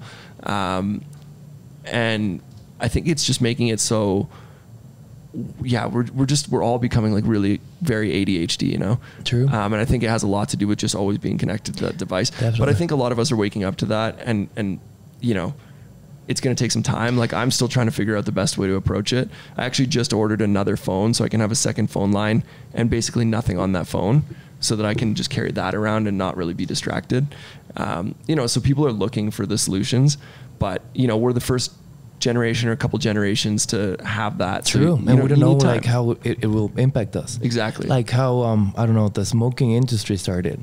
Exactly. My parents told me like back then like even like doctors would say was a good thing to do it. You know. Yeah. Like we don't know how bad that's that's gonna work on our minds on our behavior. I think we've got a pretty good idea now, and We- I, don't, I do. don't think it's good. I, I don't. Th- I think um, it doesn't reflect a lot on the way we're approaching it. Maybe you and me and people who surround us, but like, brother, TikTok or those growing monsters yeah, that you only that you get to see it on the streets on on the lines of these um coffee shops that um everyone's Yeah. there to like take the photograph. Like it doesn't seem like it's going backwards. I think it's going to change though. I, I'm, I'm optimistic, and you know maybe this is just my nature. Like, and I can seem negative because I, you know, I can definitely focus in on things that that are not good. But then that's kind of how that's my system. You know, I focus in on it, and then I start thinking about okay, but here's the solves, and here's what's being worked on, and then I, I can deal with it, right? Uh, but when it comes to this stuff, I think a lot of people are trying to solve these problems, and I think we're going to have solutions. Um, you know, and I think some of that is just our own will, like you know, to improve, um, and I think some of it will be technology solves, etc. But you know, it might even be new communities. I wouldn't even be surprised if you start seeing communities pop up where they're like, yeah, this is like a no phone community or something. Wow. You know, that'd be really cool. That would be really cool. Um, For sure. Could you imagine how much more present those people would be? I could see that happening in like Sedona, Arizona, or something. You know, um, but I'm up for that. Like, I think but then again, rad. the metaverse is growing, and people are buying their land on this new other world. Like, Man, I, there's no middle point on that. You know, like you're No. either in it very much or you're trying to escape away from it. yeah, I, uh, yeah. That's a whole other conversation. That that terrifies me. I get why it's becoming a thing, and and like, you know, I understand escapism, and like you you got to think about like how a lot of people live in the world and where they live, etc. Like I understand like. You know, we're very, very fortunate to have the opportunities we have to be able to travel and see things in real life, and you know, be able to afford to eat good food and and blah blah blah. So I do understand why that's becoming a thing.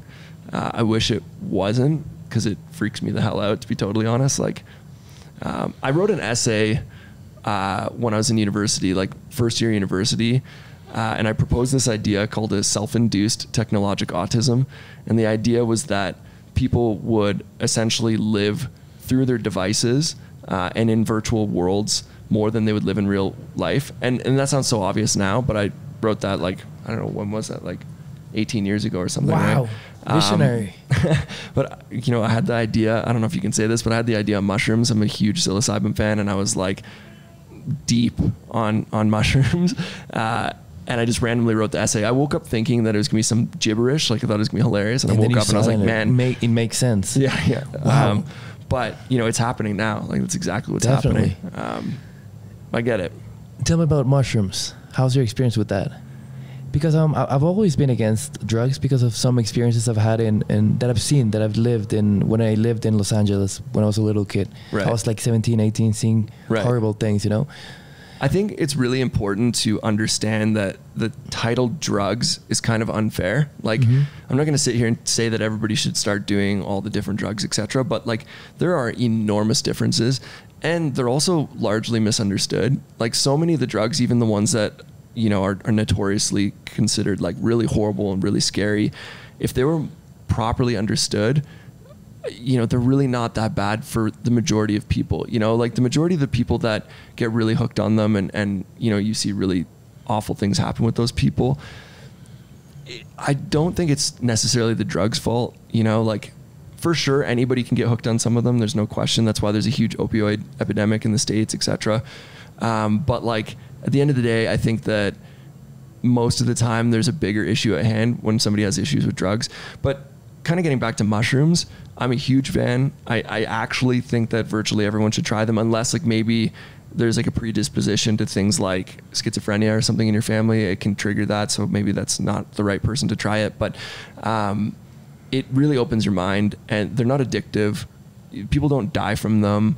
Um, I've never really seen a, bad outcome from them, you know, and, and I've probably not including like microdosing, which I've done like a million times, but I've probably done like heavy doses of mushrooms, I don't know, 50 to 100 times in my life.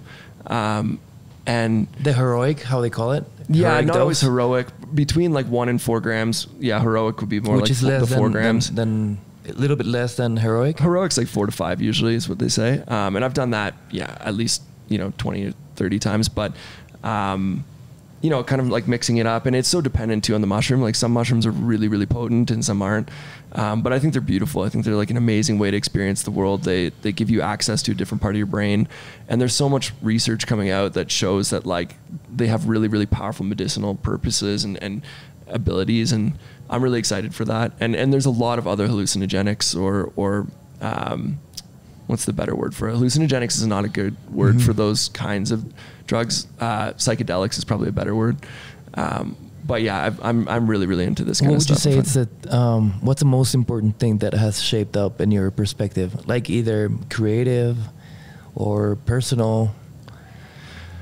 Um, this is gonna sound like just kind of cliche and really obvious, but it, it's really just that our perspective is very very narrow, you know, and that sounds deadly obvious, but like when you take something like mushrooms, you really quickly realize how differently you could just be viewing the world, like, or you could view the world, sorry. Like, it can just, whether it's just literal, like, just how you're actually looking at things, like, things start to morph and change, and you realize, like, oh man, like, the way I see things really is just like this perception, this, like, one filter that my eyes are placing on things, or to how you think about things. Like, all of a sudden, you start questioning things and thinking about them in a totally different way and you're like i didn't even know that my brain was capable of thinking of these things this way right um, and i think that that's why i like the idea of everybody trying mushrooms i think so many people are so set in their ways and they think like everything is black and white and the world is one way and i think that they do a really good job of, of helping you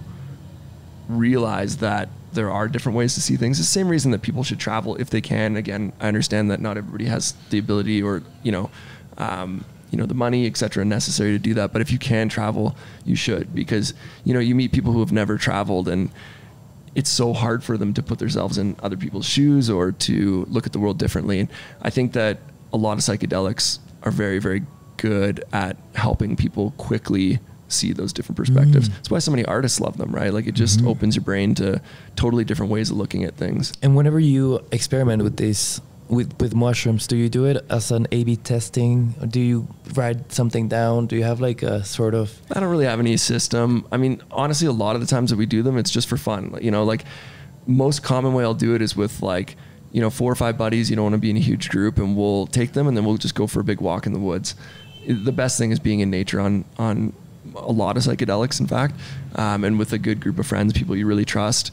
Uh, and that's amazing. And that's usually just us laughing a ton and like just having a good time. But I've certainly done them in other kind of contexts where, you know, it's a lot more about like going in with, you know, kind of a, a, a mission or, or something that you really like want purpose, yeah. a purpose. Exactly. Um, and that's been really great too. You know, just they help you really get there and get there fast and that's sometimes crazy. super aggressively. Mm-hmm. Um, there's also something really amazing too that can happen if you take a, a huge dose. Um, I've only had it happen once. I've had friends where it happens a lot, um, but you get this thing called ego death, and it's the most bizarre experience. It's like you as the individual just disappear.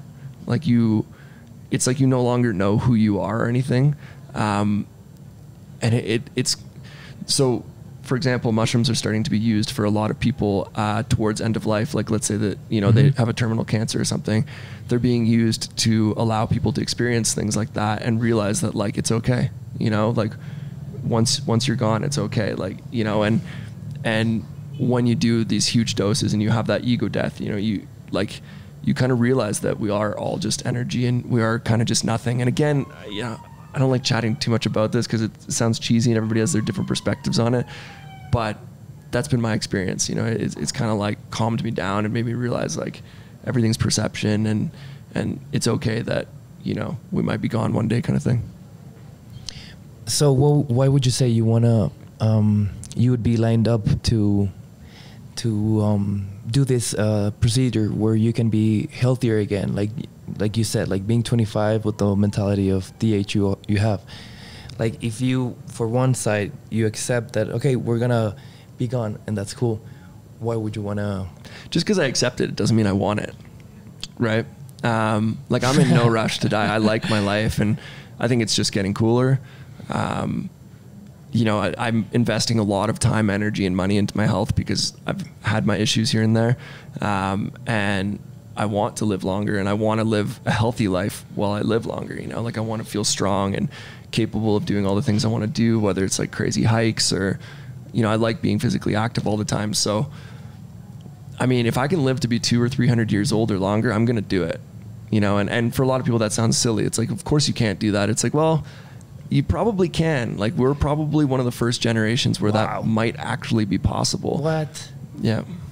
What? Yeah. no, for real. I know it sounds crazy, but basically they've been able to like they can already show essentially they can show proof that this is doable. They like our bodies are consistently replacing their cells, right? Um, but because of the way that the cells are wired or, or programmed or whatever you want to call it, um, they are essentially programmed to eventually start to break down and, and they start to like the mitochondrial wall starts to break down. I'm not a scientist, I'm terrible at explaining this, but essentially, you know, those things start to weaken, but there's already animals, for example, that can regrow limbs, etc., and they're already doing things to, to animals and even to people where they're showing that they can increase the length of life or or even almost reverse it, etc. So it's it's not unreasonable. And what you have to think about, right, is like let's say that they haven't figured out how to reverse age in 10 years. They've certainly figured out how to massively extend it. Um, so, you know, let's say that you can live an extra 30 or 40 years. Within that 30 or 40 years, there's an extremely high probability that they figured out how to reverse it, right? So, I don't know. I think That's I think we're going to see it. You know, I think we're going to see people who could live forever or, you know, That's Yeah. so much, man. yeah. It's wild. Okay, before we leave this um, mystical part of the podcast, I want to ask you something. Have you ever heard about um, people consuming either silver and gold, like synthesizing it into the body? no. Why? Okay. Ho- holy crap! There's this huge thing. I have a really good friend who actually consumes gold. I can't see the benefit of that. I can only see negatives. Like heavy metal poisoning is a real issue. like this is not a have thing to, you want. They have to like synthesize it in a very weird way. okay. It's not just like that, you know. Um, and it's very interesting that you work a lot with these silvers. But I have a good friend. I Right. don't know very well. I'm not a scientist as well. Yeah. But he's consuming gold to um, connect, have more connections in his body. Like, and it makes sense. Like the way he was saying it. Um, he didn't want to go deep into it, but um, gold. It's it, it's it's been so sacred by so many cultures back in thousands of years. So they say it's got a secret to connect. Like even the way it's uh, made, it comes out from the nucleus of the world, from the center. It comes out as blood of the world. But then again, it's it's It's, it's quite crazy. beautiful. to- Like the the part of me that like science is terrified for this person, but like, but you know, may, maybe it's a really cool thing. I, I honestly, there's, you know, I know nothing. Like, what do I really know? So, you know, that sounds pretty cool. what you said sounds pretty cool too, really. okay, so I want I want you to try uh, mezcal. Done. It's arroqueño. Should should we? Jalapeno? Yeah, we should. Arroqueño. Oh, okay. Jalapeño. Jalapeno. I was like, all right. Spicy mezcal. Yeah. This this was made by Semei Garcia in Miahuatlán, Oaxaca. It comes out from the what was that? Sounds like something on your roof. Like a boat. So um, what would you say it's a secret between being very successful in your brand, in your work, and, and everything that you do, and also having a very healthy life? Where is the secret secret hidden between? Oh, I don't know yet. Someone's got to teach me that. You're finding it right now. I'm trying to figure out balance, um, and I think I'm okay at it. But I've got a lot of work to do for sure. It burned.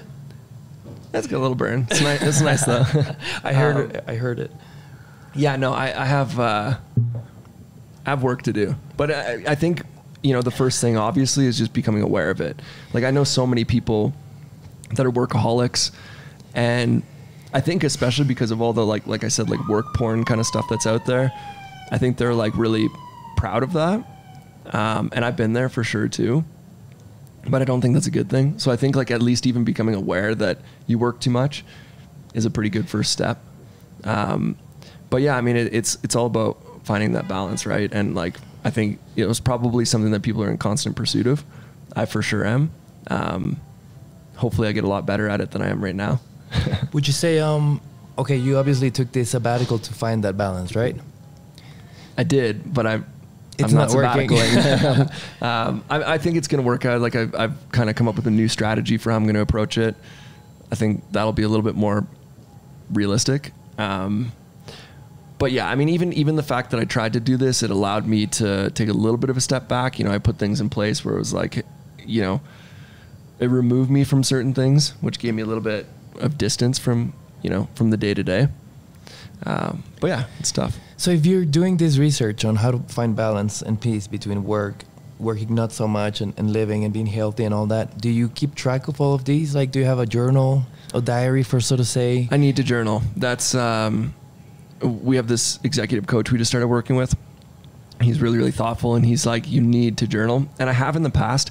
It's gonna sound so silly, but my writing is really bad for one thing, like hieroglyphic. Like I can barely read my own writing. Oh, like uh, yeah, okay, my okay. handwriting, and uh, it's really slow. Like it bugs me. Like I, I think so much faster than I write. I type a lot faster than I write, but when it comes to journaling, like I've done a lot of journaling through typing, and it just it, journaling feels like it should be done by hand. It should be slowed down, but because of that, I don't do it. So I, right now, I just have no journaling practice. The odd time when I do do it, though, I'm like, why don't I do this more? And it, it really like starts to kind of set me straight. Um, so when I do start my next round of my sabbatical, when I like hit reset, I will absolutely be journaling. That's going to be like a, a requirement. Like every morning, like meditate and then journal. Um, but you know, I'm not that person who's going to sit here and be like, I have all the best habits in the world. I have quite a few pretty decent habits.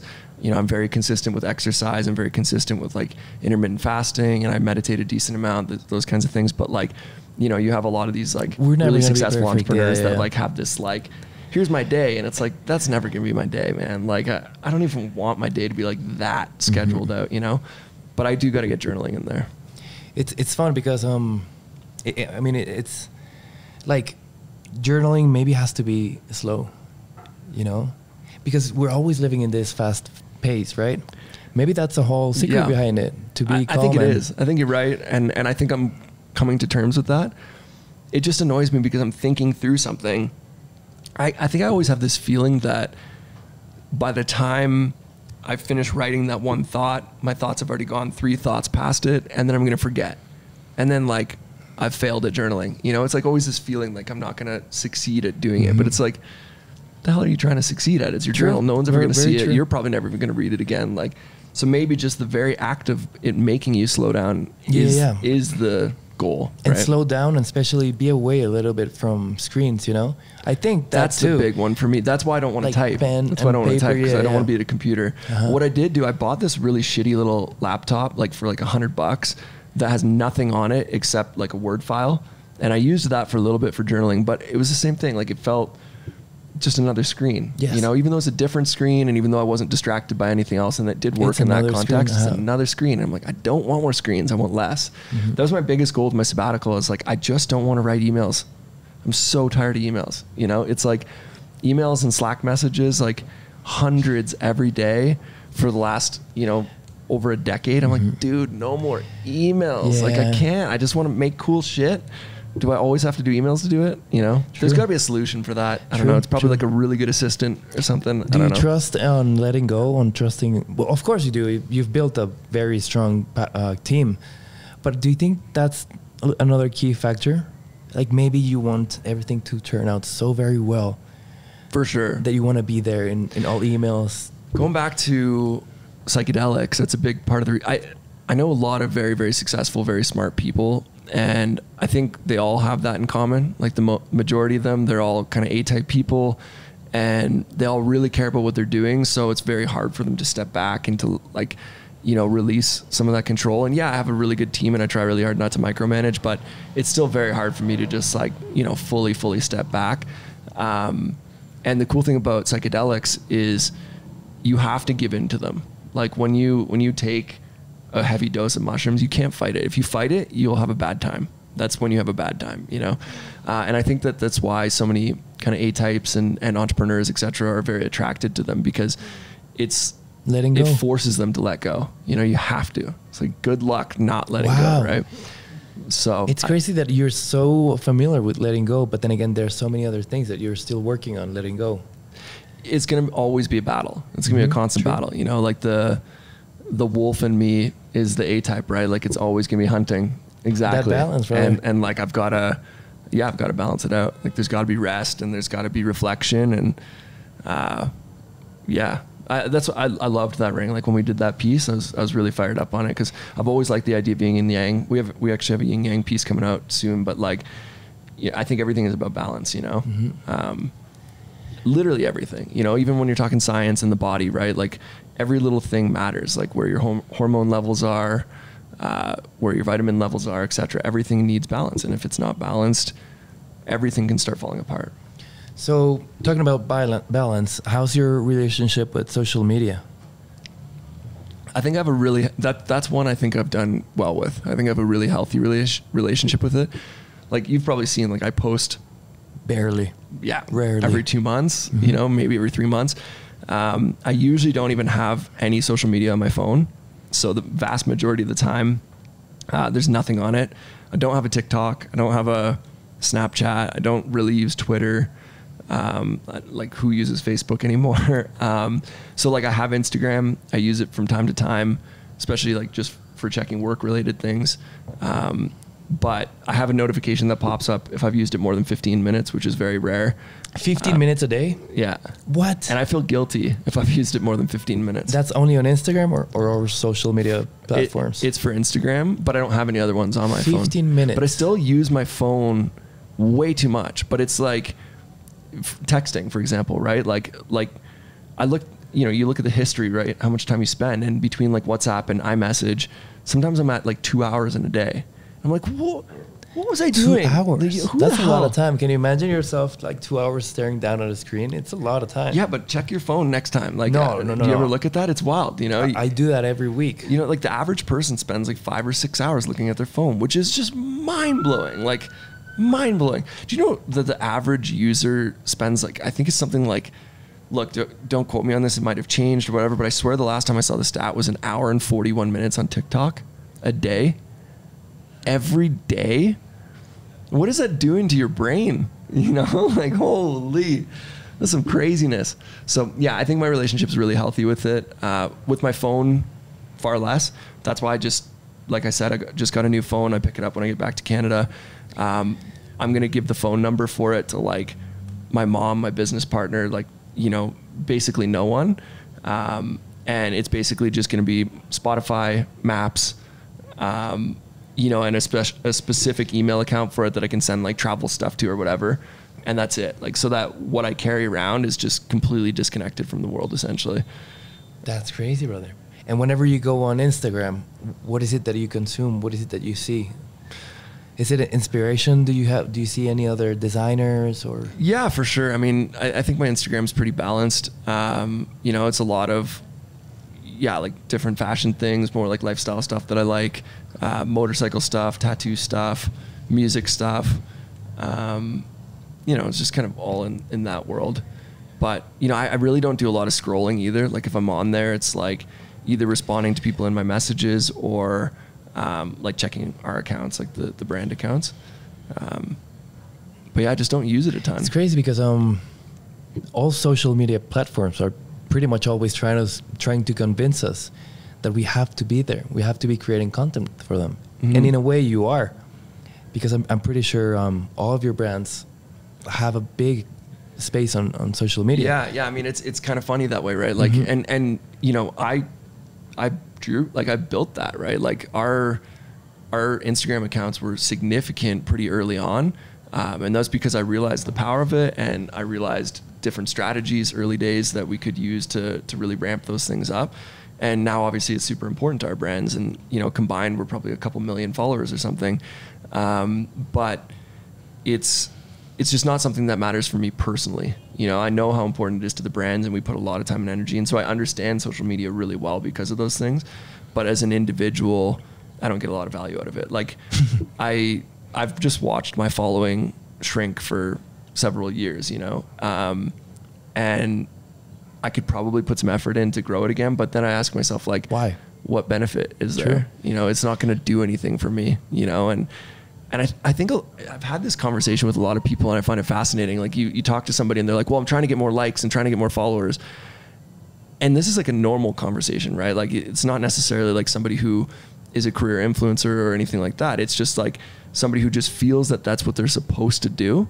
And I, I remember asking people many, many times, like, why? Why do you need to do that? And they're like, well, cause, well, cause why not? And it's like, but why? Like, what are you trying to accomplish with that? And they have no idea. There's no, there's no answer. There's no reason. There's no justification. True.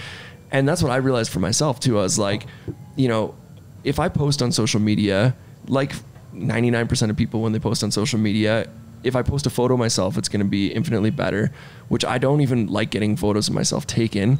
So Yeah, I've seen that. you know like yeah like you know like i like generally just kind of hide from the camera um and if i post anything that's of like interest to me it does really poorly anyway and i realized i'm like i like why am i doing this like it doesn't it doesn't matter to me and i don't want to just post a bunch of photos of myself it feels really vain and it doesn't actually benefit me in any real way um so that's why i just don't really use it anymore Love it. But what would you say it's the secret behind that? Um, knowing that it's good for business whenever you have something to be shared out to the world, but then again, not in the personal side, right? yeah, it- it's it's just understanding the why you're doing it, right? Like like because I like look like I see so many people build these amazing amazing careers uh, using social media, right? Including myself. I've just done it through my brands instead of do- doing it through a personal brand, right? So like I understand the value, and and we're certainly going to continue doing it with our brands.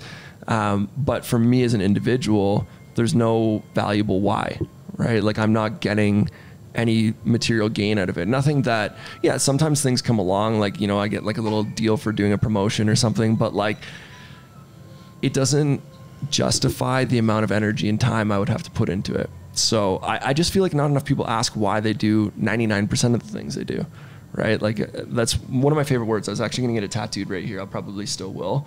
Just the word why.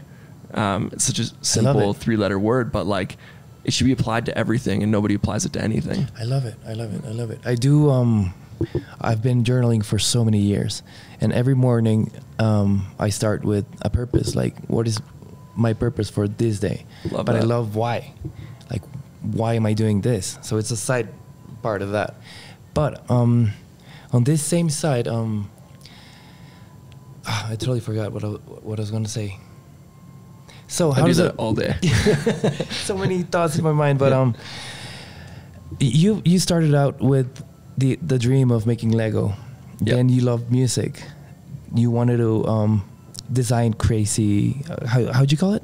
That quote when you wrote it when you were a little kid. I just wanted to design anything and sell it to people. Uh-huh. Yeah, like I just love the idea of creating products. And then I love how it all turned out. Like pretty much everything that you've done throughout your life, it's been a huge puzzle that it all the pieces fall completely together.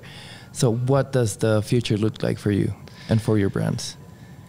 Um, I mean, for Clocks and Colors, we're gonna keep doing what I've been doing, which is just continuing to, you know, to grow the product assortment based on stuff that I think is cool and stuff I want. Like, I just have so much fun with it. Um, but in terms of my career, I think you know I'm gonna keep growing those brands.